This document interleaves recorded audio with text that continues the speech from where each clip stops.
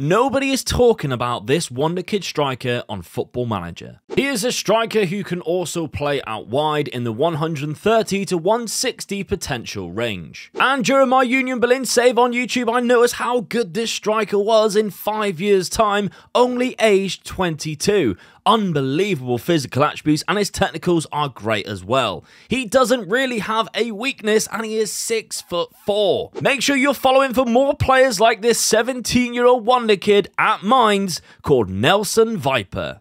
And I am rather shocked because